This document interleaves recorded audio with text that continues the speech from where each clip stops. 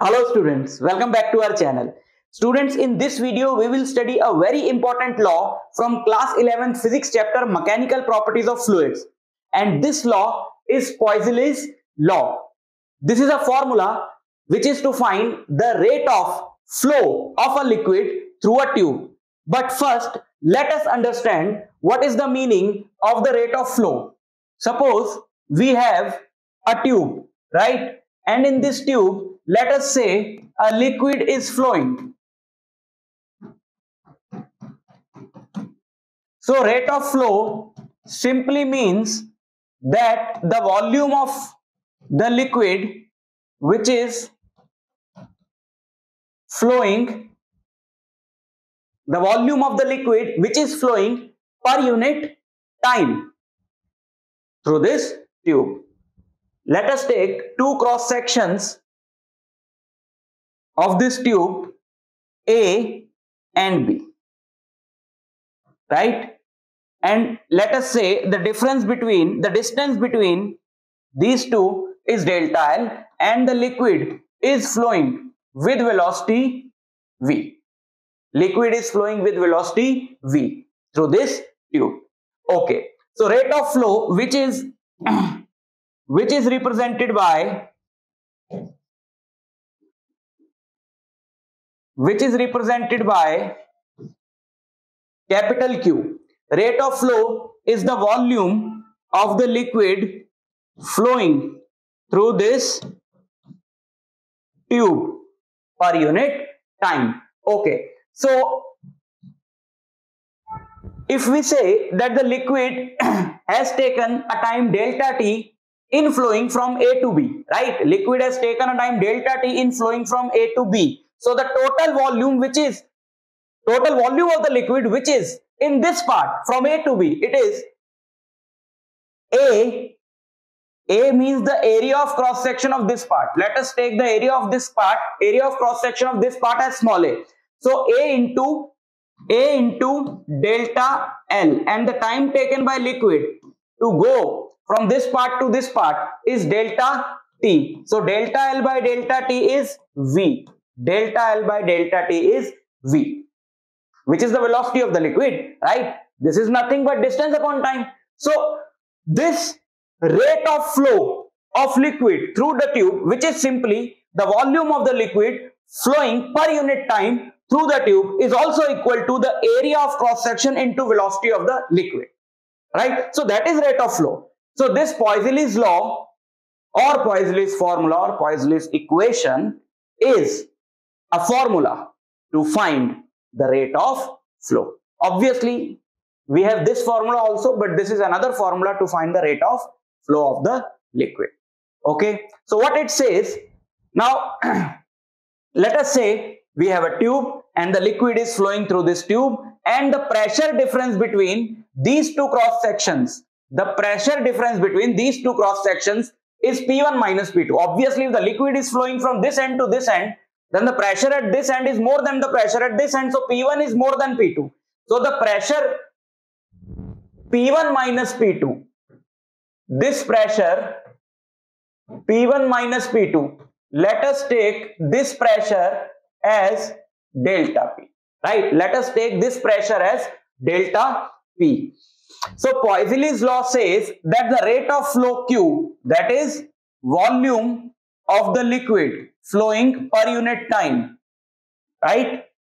This Q is directly proportional to P.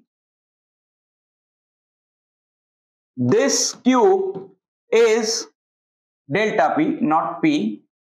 The rate of flow through any part of the tube is directly proportional to the pressure difference between the two ends of that part. So Q is directly proportional to delta P Q is inversely proportional to delta L. We will, we will discuss all these points.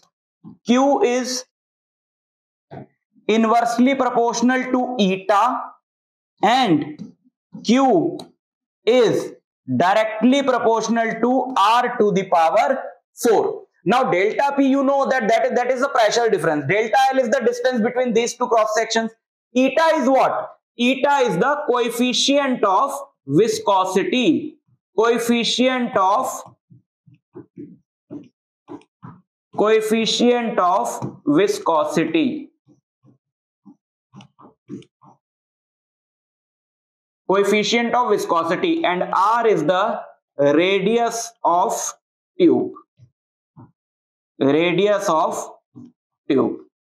Okay so let us analyze this formula first. It says that more is the pressure difference between these two cross section, more will be the rate of flow and that is very obvious. If the pressure difference is more, which means that pressure at P1 is much more than the pressure at P2.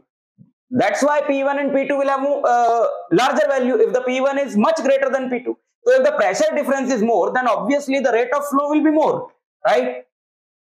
And rate of flow is inversely proportional to delta L, right? If the distance between these two cross sections is more, then the pressure difference, uh, the rate of flow is less. Basically, these two can be combined into a single term and we can write that Q is directly proportional to delta P by delta L which is nothing but called the pressure gradient. Pressure, pressure gradient.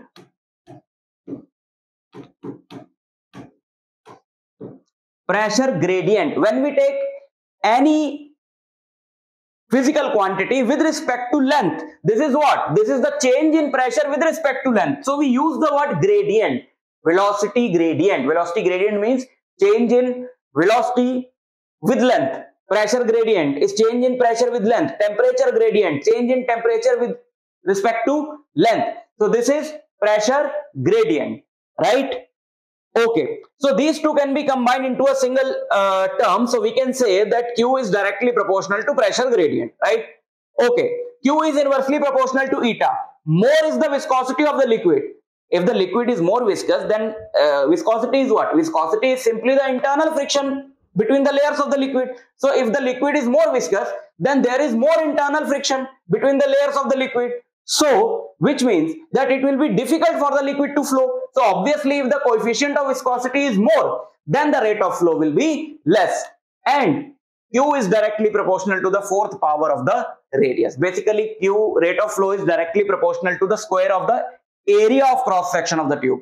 More is the area of the cross section. Obviously, more liquid can be flown through the tube. So, if if it is directly proportional to the square of the area of cross section and area is directly proportional to the square of the radius because area is pi r square. So we can say that q is directly proportional to the fourth power of the radius. Right? Okay.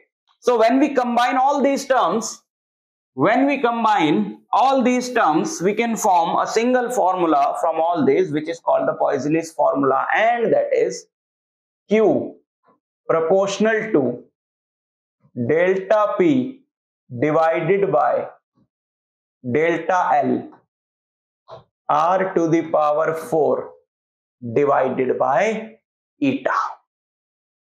Right? And when we remove the proportionality sign and put equality sign in place of this then a constant is written in the formula. And in this case this constant is pi by 8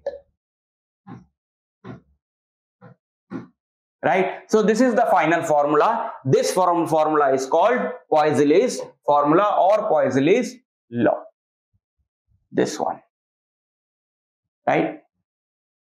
So derivation also derivation of this formula also comes in exam but this is not the derivation. This is simply just the explanation. So we will derive this formula using the method of dimensional analysis. I'm not going to explain that method because this video is particularly for the Poiseuille's law so you you must revise that method if you don't know it yet from chapter 1 units and measurements. That is the method to derive a formula using the dimensions of the physical quantities which are present in the formula.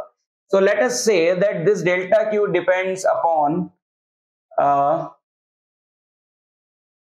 power x of delta p by delta l and power y of r and power z of eta. Now let us uh, let us put the dimensions of all these quantities. So the dimensions of rate of flow. Rate of flow is simply volume uh, per unit time. So this is L cube by T. So we can write it as L cube T minus 1 equal to equal to K because we have removed the proportionality sign that's why put, we are putting a constant. So the uh, dimensions of pressure. Dimension kya hai pressure ki? Pressure is force upon area. So force force this is force this is area. So it is ml minus 1 t minus 2 divided by delta l. Divided by this dimension of delta l is l so this l will go into the numerator so it becomes m l minus 2 t minus 2 m L minus 2 T minus 2 whole to the power X. Radius is nothing but length to the power Y. Dimensions of coefficient of velocity are ml viscosity sorry ml minus 1 t minus 1 now if the base is same powers can be added. So the power of m power of m is x and z. So we can write m to the power x plus z. L to the power minus 2x plus y minus z. Minus 2x plus y minus z. And t to the power minus 2x minus 2x minus z right okay now let us compare these powers so if we compare these powers the power of m on this side is x plus z and power of m on this side is 0. So we can say that x plus z is 0 and power of t is minus 2x minus z and power of t on this side is minus 1. So if we solve these two equations, so if we add, right, by solving we mean that we have just added these two equations so that the z cancels out. So x is 1 and if I put the value of x I will get z as minus 1. Now let us take the third equation which is minus 2x plus y minus z equal to uh, the power of L is 3. So now let us put 2 into minus 2 into x. The value of x is 1 plus y. Uh, y we have to calculate minus z and the value of z is minus 1. So the value of y is 4 right the value of y is 4 so if we put all these values x as 1 y as uh, y as 4 and z as minus 1 so we will finally get this formula right so this is how you can derive Poiseuille's formula and there are some assumptions that we have used for this law not we but Poiseuille had used for this law and these are the assumptions. What are the assumptions? The flow of the liquid is steady and parallel to the axis of the tube, right? The liquid is flowing steadily in the tube and the flow is parallel to the axis. That is the first assumption. Otherwise, this formula is not going to work. If, if the criteria is not met, any of these four points is not met, then uh, this formula will not work. The pressure is constant over any cross section of the tube over any cross section the pressure should not change if if, if we are saying that pressure at uh, cross section a is p1 then it should remain p1 throughout it should not change right the liquid velocity is zero at the walls of the tube and increases towards the axis of the tube. We have to assume that the velocity of the liquid that part of the liquid which is touching the walls of the tube is zero. And as we move from walls to the center of the tube the liquid is the velocity of the liquid is increasing increasing and it is maximum at the axis.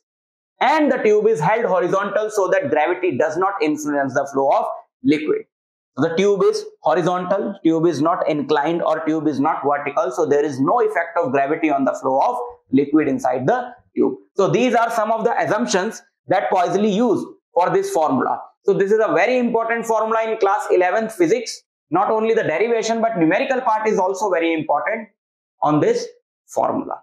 Right? So i'll meet you in the next lecture. Till then all the very